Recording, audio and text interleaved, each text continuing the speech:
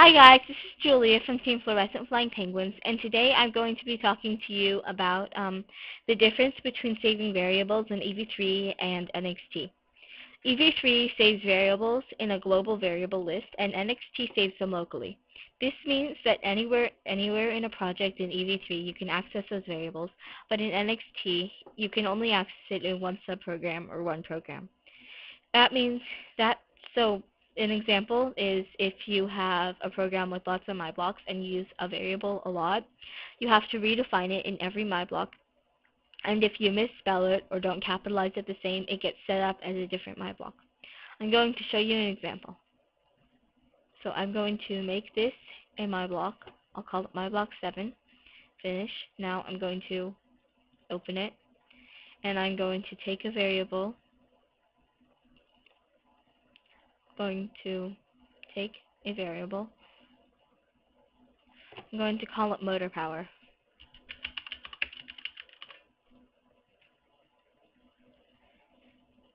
And then going to put motor power into the power on the robot right there.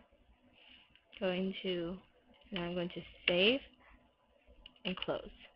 So now I think I want to access that variable because I want to write the program here instead. So I go to get it, but it's not there. This is the problem with NXT's variable saving system. It's only within this my block, and I'll have to redefine it here, but if it's different, it won't work. EV3 works differently. I'm going to do the exact same thing, but there's going to be one small difference. Uh, first, I'm going to create, oh geez. Okay,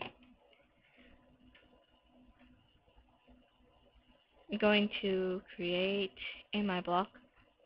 No. Yes, okay. I'm going to call it motor.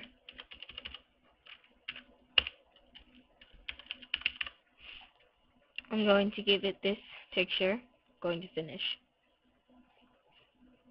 Now I'm going to open up this my block and I'm going to grab a variable uh,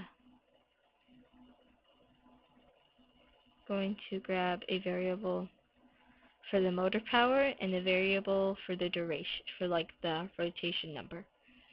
I'm going to call that that. It's going to be motor power and just I guess I will call this one number okay rotations. Now I'm going to put rotations into the rotations and I'm going to put the motor power into the motor power and the rotations into the rotations. Going to save this as example 2. Going to now close the my block.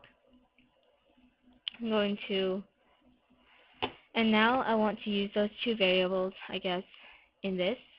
So I'm going to pull them out. And they're right there. The reason this works is because NXT has a global, EV3 has a global variable list that saves all of the variables within a project so that they're accessible from anywhere in that project. This is really, really useful. So EV3 has a better variable saving system than NXT because EV3 saves variable saves variables globally, whereas NXT saves them locally. Thank you for watching this episode of NXTG versus EV3. Thank you and goodbye.